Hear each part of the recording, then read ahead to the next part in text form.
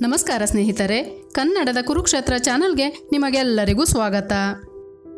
ಸ್ನೇಹಿತರೆ, ವಿಜಯವಾಡ ಕನಕದುರ್ಗಮ್ಮ ಬಗ್ಗೆ ಮತ್ತು ಆಕೆಯ ಮಹಿಮೆಗಳ ಬಗ್ಗೆ ಎಷ್ಟು ಹೇಳಿದರೂ ಕಡಿಮೆಯೇ. ಅಸಲು ಇಂದಿಗೂ ಕೂಡ ಅಮ್ಮನವರು ರಾತ್ರಿ ವೇಳೆ ತಿರುಗಾಡುತ್ತಿದ್ದಾಳೆ ಎಂದರೆ ನಿಜವಾಗಿಯೂ ಅಲ್ಲಿ ಅಮ್ಮನವರು ನೆಲೆಸಿದ್ದಾರೆಂದು ಹೇಳಬಹುದು. ಆದರೆ ಅಂತಹ ಶಕ್ತಿಗಳಿರುವ ಅಮ್ಮನವರ ಬಗ್ಗೆ ಕೆಲವು ಊಹಿಸದ ನಿಜಗಳಿವೆ. ಅವೇನೆಂದರೆ, ಅಮ್ಮನವರಿಗೆ ವಿಜಯವಾಡ ಪೊಲೀಸ್ ಸ್ಟೇಷನ್ನೊಂದಿಗೆ ಒಂದು ಸಂಬಂಧವಿದೆ ಎಂದು ಎಂದಾದರೂ ಕೇಳಿದ್ದೀರಾ? ಅಸಲು ಪೊಲೀಸರು ಅಮ್ಮನವರನ್ನು ಪೊಲೀಸ್ ಸ್ಟೇಷನ್ನಲ್ಲಿ ಒಂದು ದಿನ ಏಕೆ ಇರಿಸುತ್ತಾರೆ? ಮುಸ್ಲಿಂ ವ್ಯಕ್ತಿಗೆ ಅಮ್ಮನವರು ಕನಸಿನಲ್ಲಿ ಬಂದು ಏನನ್ನು ಹೇಳಿದರು?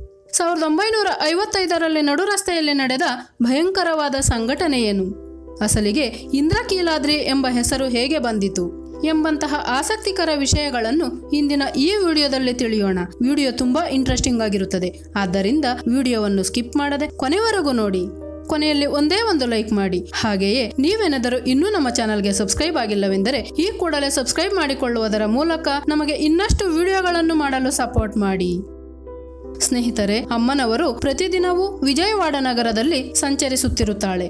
ಇದರ ಗುರುತಾಗಿ ಇಂದಿಗೂ ಸಹ ಅನೇಕ ಮಂದಿ ಉಪಾಸಕರು ಬೆಟ್ಟದ ಮೇಲೆ ಆಕೆ ಕತ್ತಲಲ್ಲಿ ತಿರುಗಾಡುತ್ತಿರುವುದನ್ನು ನೋಡಿದ್ದೇವೆಂದು. ಇನ್ನೂ ಕೆಲವರಿಗೆ ಆ ನಿಶಬ್ದ ರಾತ್ರಿಯಲ್ಲಿ ಕಾಲ್ಗೆಜ್ಜೆಗಳ ಶಬ್ದ ಕೇಳಿಸುತ್ತದೆ ಎಂದು ಅಲ್ಲಿನ ಸ್ಥಳೀಯ ನಿವಾಸಿಗಳು ಹೇಳುತ್ತಿರುತ್ತಾರೆ. ಸಾವಿರದ ಒಂಬೈನೂರ ಐವತ್ತೈದರಲ್ಲಿ ನಡೆದ ನಿಜವಾದ ಘಟನೆ ಇದು. ವಿಜಯವಾಡದಲ್ಲಿ ದಿಲ್ಲಿ ವೆಂಕಣ್ಣ ಎಂಬ ರಿಕ್ಷಾ ಕಾರ್ಮಿಕರೊಬ್ಬರಿದ್ದರು. ಯಾದವ ಕುಲಸ್ಥರಾದ ಇವರು ತುಂಬಾ ಕಷ್ಟಜೀವಿ. ದಿನವೂ ರಿಕ್ಷಾ ತುಳಿದು ಜೀವನ ನಡೆಸುತ್ತಿದ್ದರು. ಇವರು ದುರ್ಗಮ್ಮ ದೇವಿಯ ಅಪಾರ ಭಕ್ತರು. ಹೀಗಿದ್ದಾಗ ಆ ದಿನಗಳಲ್ಲಿ ಆ ಪ್ರದೇಶದಲ್ಲಿ ರೋಜುಲು ಮಾರಾಯಿ ಎಂಬ ತೆಲುಗು ಸಿನಿಮಾ ರಿಲೀಸ್ ಆಗಿತ್ತು. ಅದು ಆ ಕಾಲದಲ್ಲಿ ಸೂಪರ್ ಹಿಟ್ ಆಗಿದ್ದರಿಂದ ಬಹಳ ಮಂದಿ ಆ ಸಿನಿಮಾಕ್ಕೆ ಹೋಗುತ್ತಿದ್ದರು. ಒಂದು ದಿನ ವೆಂಕಣ್ಣ ರಿಕ್ಷಾ ತುಳಿಯುತ್ತಾ ಯಾರಾದರೂ ಪ್ರಯಾಣಿಕರು ಬರಬಹುದೆಂದು ಮಾರುತಿ ಥಿಯೇಟರ್ ಬಳಿ ಹೋಗುತ್ತಾರೆ. ಅದೇ ಸಮಯದಲ್ಲಿ ಒಬ್ಬ ಹಿರಿಯ ಮಹಿಳೆ ಆ ಸಿನಿಮಾ ಹಾಲ್ನಿಂದ ಹೊರಗೆ ಬರುತ್ತಾರಂತೆ. ಕೆಂಪು ಸೀರೆಯುಟ್ಟು, ಹಣೆ ತುಂಬ ಕುಂಕುಮ, ಕೈ ತುಂಬ ಬಳೆ ಮತ್ತು ತಲೆಯಲ್ಲಿ ಹೂವು ಮುಡಿದಂತಹ ಮುತ್ತೈದೆಯಾದ ಆಕೆ ಈ ವೆಂಕಣ್ಣನ ಬಳಿ ಬರುತ್ತಾರೆ. ವೆಂಕಣ್ಣನಿಗೆ, ಅಣ್ಣ ಇಂದ್ರಕೀಲಾದ್ರಿಗೆ ಬರುತ್ತೀರಾ? ಎಂದು ಕೇಳುತ್ತಾರೆ. ಹಾಗೇ ಆಗಲಿ ಎಂದು ರಿಕ್ಷಾದಲ್ಲಿ ಆ ಇಬ್ಬರು ಹೊರಟರು. ಅರ್ಧ ರಾತ್ರಿಯಾದ್ದರಿಂದ ಆ ಕತ್ತಲ ರಾತ್ರಿಯಲ್ಲಿ ಎಲ್ಲವೂ ನಿಶ್ಶಬ್ದ. ಆ ದಾರಿಯಲ್ಲಿ ಇವರಿಬ್ಬರನ್ನು ಬಿಟ್ಟರೆ ಬೇರೆ ಯಾರೂ ಇರಲಿಲ್ಲ. ಹಾಗೆ ಹೋಗುತ್ತಿದ್ದಾಗ ಒಂದು ಜಾಗಕ್ಕೆ ಬರುತ್ತಿದ್ದಂತೆ ರಸ್ತೆ ತುಂಬಾ ಎತ್ತರವಾಗಿತ್ತು. ವೆಂಕಣ್ಣನು ರಿಕ್ಷಾ ತುಳಿಯಲು ಬಹಳ ಕಷ್ಟಪಡುತ್ತಿದ್ದಾರೆ. ಆಗ ಆಕೆ, ಅಣ್ಣ, ರಿಕ್ಷಾ ಇಳಿದು ಬಿಡಿ. ದೊಡ್ಡವರು ನೀವು. ನಿಮಗೇಕೆ ಅಷ್ಟು ಕಷ್ಟ?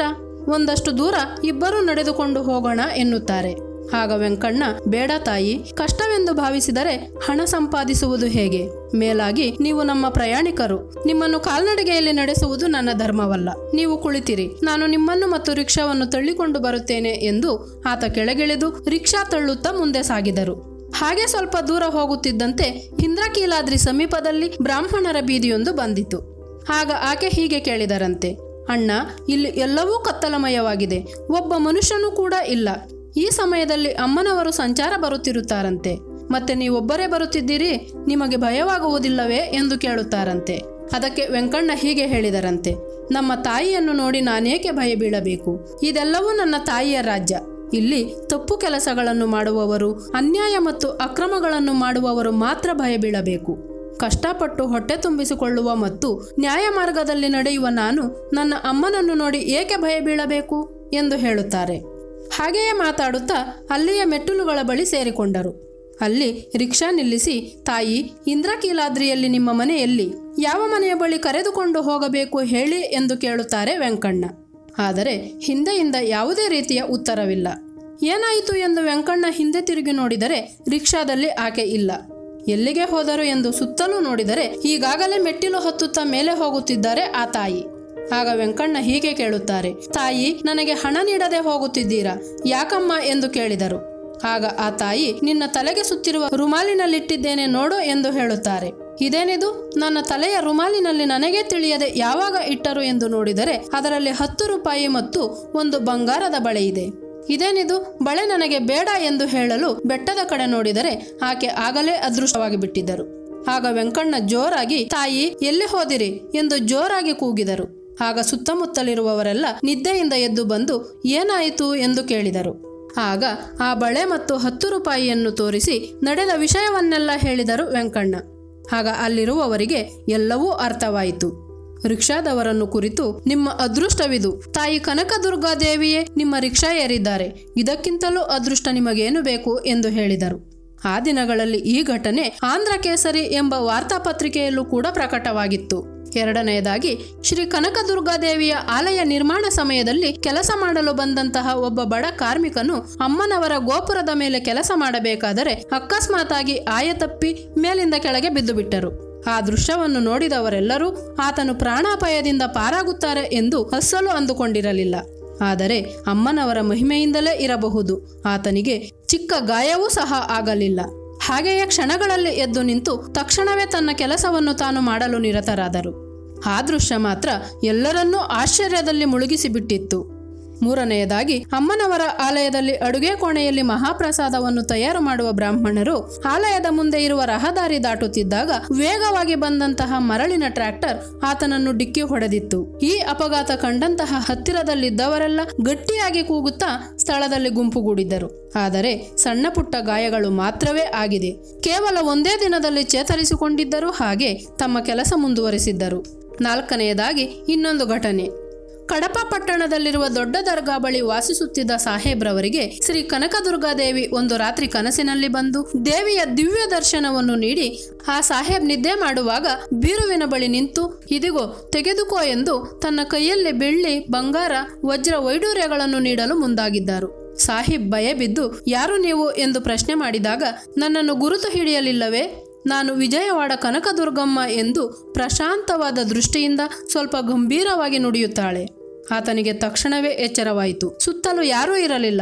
ಎಲ್ಲವೂ ಕತ್ತಲೆ. ಬೆಳಗಾಗುತ್ತಿದ್ದಂತೆಯೇ ಆತನೇ ಸ್ವತಃ ಅಮ್ಮನವರ ಆಲಯಕ್ಕೆ ಬಂದು ಅರಿಶಿನ, ಕುಂಕುಮ ಮತ್ತು ಬಳೆಗಳನ್ನು ತಾಯಿಗೆ ಸಮರ್ಪಿಸಿ ಪೂಜೆಯನ್ನು ನೆರವೇರಿಸಿ ರಾತ್ರಿ ಕನಸಲ್ಲಿ ನಡೆದ ವಿಷಯವನ್ನು ವಿವರಿಸಿದ ಹಾಗೆ ಆಲಯ ಸಿಬ್ಬಂದಿ ಅರ್ಚಕರಿಗೆ ಹೇಳುತ್ತಾರೆ.